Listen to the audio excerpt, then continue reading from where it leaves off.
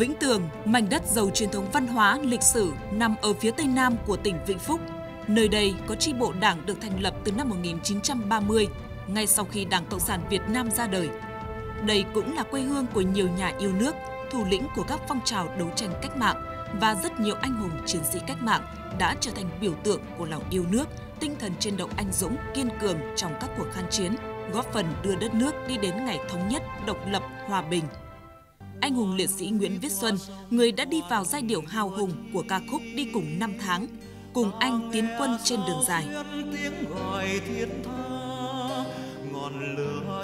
Tưởng nhớ, tri ân với những anh hùng liệt sĩ đã hy sinh vì Tổ quốc. Trên mảnh đất Vĩnh Tường hôm nay, tượng đài các anh được xây dựng ở vị trí trung tâm của huyện và đã trở thành nơi thăm viếng trang trọng của cán bộ, nhân dân địa phương cũng như du khách khi về thăm mảnh đất này.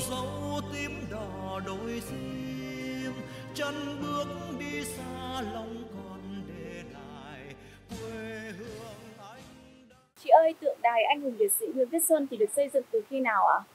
Năm 2014 thì Ủy ban nhân dân tỉnh Vĩnh Phúc có giao cho tỉnh đoàn làm chủ đầu tư để xây dựng công trình tượng đài anh hùng liệt sĩ Nguyễn Viết Xuân này đặt tại à, đơn vị hành chính huyện Vĩnh Tường. Và năm 2015 thì công trình được khởi công xây dựng với tổng diện tích khoảng 6.000 m2. À, công trình thì nó là một cái kiến trúc mở à, bao gồm điểm trọng tâm là tượng đài, à, phần bức phù điêu này phần đế tượng đài và ở khu vực sân tượng đài đây. Chị ơi, công trình tượng đài anh hùng liệt sĩ Nguyễn Viết Xuân được xây dựng thì có ý nghĩa như thế nào đối với thế hệ trẻ ạ? Công trình tượng đài anh hùng liệt sĩ Nguyễn Viết Xuân có rất nhiều ý nghĩa. Nó bao hàm ý nghĩa lịch sử, chính trị, mang giá trị nhân văn sâu sắc. À, đây là một biểu tượng cho tinh thần ý chí quật cường của tuổi trẻ cũng như là con người Vĩnh Tường. À, đây cũng là nơi sinh hoạt văn hóa, à, nơi vui chơi, à, tham quan du lịch quảng bá hình ảnh của địa phương và đặc biệt đây là nơi để giáo dục truyền thống cho thế hệ trẻ hôm nay và mai sau. Chị ơi, có phải tượng đài anh hùng liệt sĩ Nguyễn Viết Xuân thì được xây dựng để mô tả lại cái thời điểm mà anh đã nói một câu nói rất bất hủ đó là nhằm thẳng quân thủ bắn có đúng không ạ? À đúng rồi em. Ngày 18 tháng 11 năm 1964 tại à,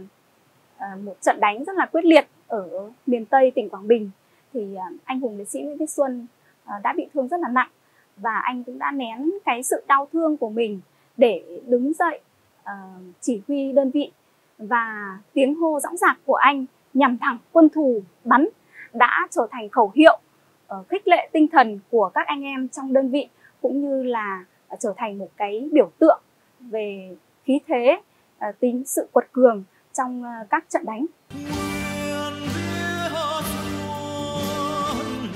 phát huy truyền thống anh hùng cách mạng, Vĩnh Tường hôm nay không ngừng đổi mới và phát triển. Ghé thăm mảnh đất này, bạn sẽ thấy sức sống mãnh liệt của mạch nguồn văn hóa, lịch sử xuyên suốt theo dòng chảy thời gian.